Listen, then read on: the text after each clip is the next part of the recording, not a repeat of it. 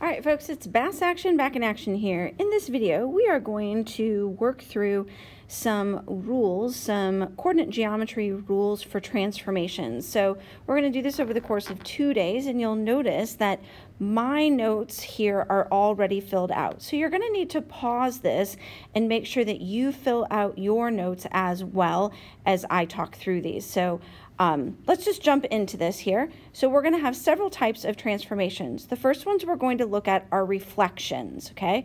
So we're going to look here at these reflections. So our first rule will be a reflection over the x-axis. So what I want you to notice over here on your graph right now, you only have this black graph right here. So if we are going to reflect over the x-axis, I want you to draw in this horizontal line here to indicate this is what we're going to reflect over. So you can see that my graph here does in fact look like each of my points have been reflected over the x-axis. These two points right here look like nice reflections over the x-axis. These two points are a reflection over the x-axis and these two. Now the question is, is how did I get this? So the rule that I followed when an instruction tells you to reflect something over the x-axis is that the x value, whatever x value you're given, is going to stay the same, but the y value is going to change sign. If it was positive, it'll become negative. If it was negative, it'll become positive. So let's take a look over here. On, these are all of my given ordered pairs. Negative 3, 1 corresponds with this point, 2, 4 corresponds with this point, and 5, negative 6 corresponds with this point. So I took this original point, negative 3, 1, followed my rule, and I got this new point, negative 3, positive 1. So I think I even said positive 1 there. I meant to say negative 1 up there. So negative 3, positive 1 is my new point, so I plotted that point.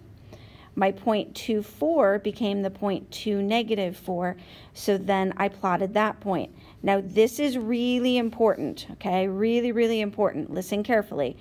As soon as you plot the second point, you want to connect. You want to plot, plot, and connect. If you just plot your three points, it's going to become really confusing down the road. So you plot a point, plot another point, draw on your segment. Then I had my new point, my or my original point, and I again followed my rule. The y value changed sign, I plotted, and then I connected from where I last left off. Okay, so that's a reflection over the x-axis.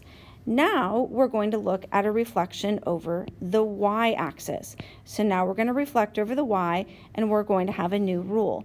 This time the x values are going to change sign and the y value is going to stay the same. So my points here, negative 3, negative 1, these are the same points. We're going to use them over and over and over again.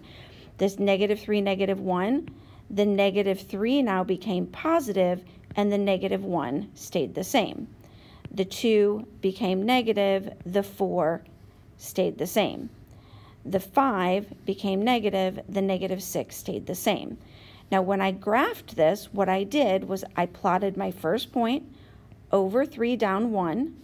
Then I plotted my next point, negative 2, 4, and I immediately connected. Then I plotted the last point and connected again. When I'm all done, you can see I've drawn in this line that we're reflecting over, and now each of my points do appear very nicely as a reflection.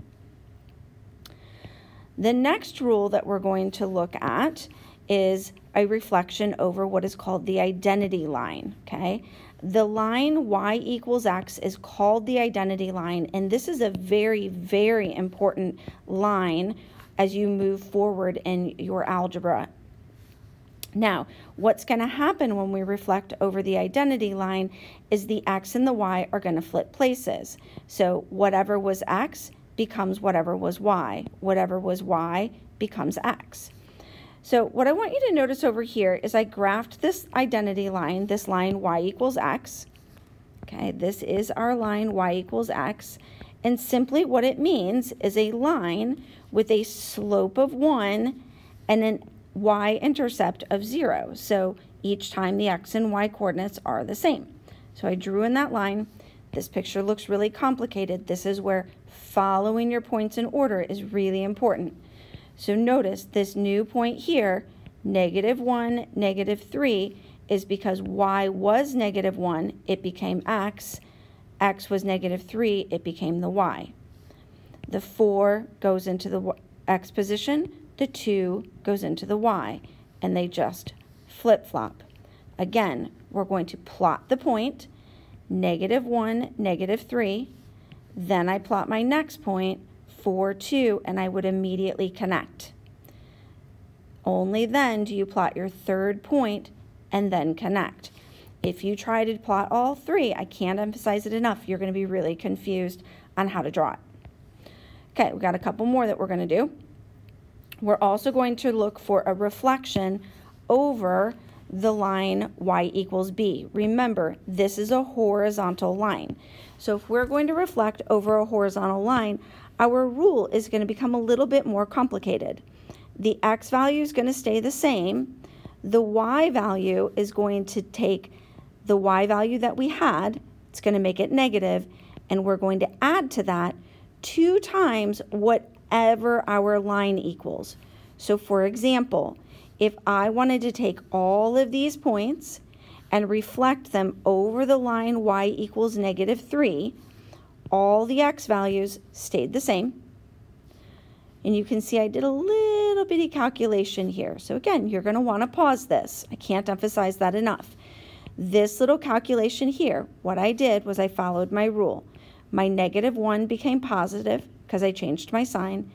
And then I was adding 2 times negative 3, so I wrote it as a minus 6. This is 1 plus 2 times negative 3. That gives me my new y coordinate. For my next one, my 4 became negative, and then there again is the 2 times negative 3. My 6 became positive, and there's my 2 times negative 3. That gives me my three y values. And again, I'm going to plot those.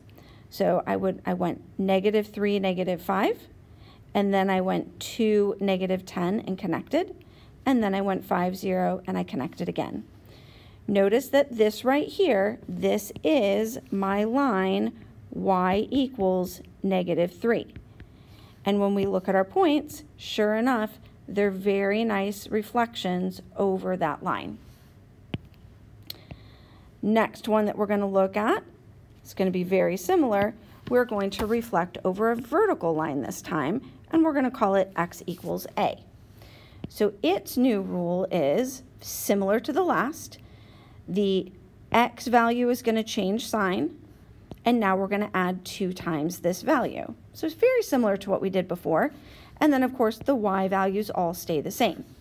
So if I want to reflect over the line x equals negative 4, you can see over here I drew that in for you. I would encourage you to draw it too.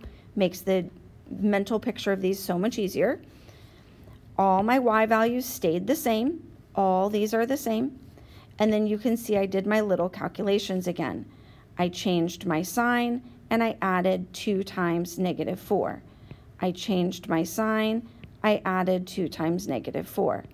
I changed my sign, I added 2 times negative 4. So then I plotted my points. Negative 5, negative 1, then I went to the negative 10, 4, and then I went to negative 13, negative 6. Okay, now our next one, this is the one that's probably going to look a little bit different in your Canvas quiz. If we want to do a horizontal translation, this is sometimes also called a shift.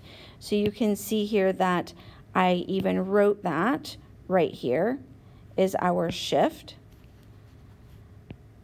So we've got our shift here. Now, if we want to shift something, all we're going to do is we're going to take all of our points and we're just going to slide them in whatever direction it says. So if I wanted to shift right three units, I take all of my x values and I just add whatever it is that I'm moving. So that's what this x plus c is. But the y's have to stay the same. So here's all my y's. They all stayed the same. I took my x and I added 3. I took my x and I added 3. I took my x and I added 3. And that gave me my points. 0, negative 1, up to 5, 4, over to 8, negative 6. Now, the one extra thing, this is important, make this note. The one extra thing when you see this on your Canvas quiz, it'll look like this. It'll say translate, and it'll write it like this, three, comma, and in this case, I'm gonna say zero. This is the horizontal translation. So if, it, if you want you to do this translation, you're just going to take this x value, this is the same as the 3 right here, okay? Last one we're going to look at is on the top of the next page, and it's very, very similar again.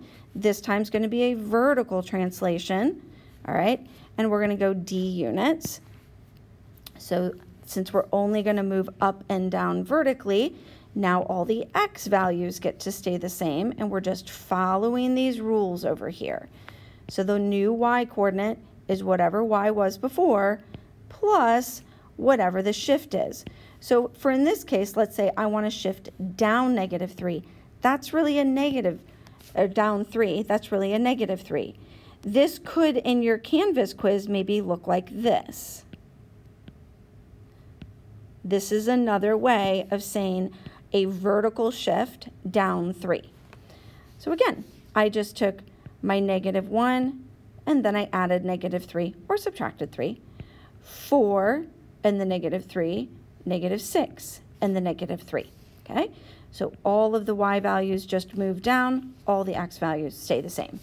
So your Canvas quiz is just going to ask you for these individual coordinates. So it's going to ask you for an x or a y based on a certain transformation. Don't hesitate whatsoever to keep this notes packet with you so that you can easily reference each of your rules. Okay, don't, I'm not really looking for you to necessarily have these crazy memorized. You probably will memorize them because they're pretty straightforward, but it's okay if you have your notes in front of you when you do the Canvas quiz and you need to flip back and forth. Okay, that's it. That's all that we're going to do um, on this today. And then our next lesson will be rotations, and that is definitely a little trickier.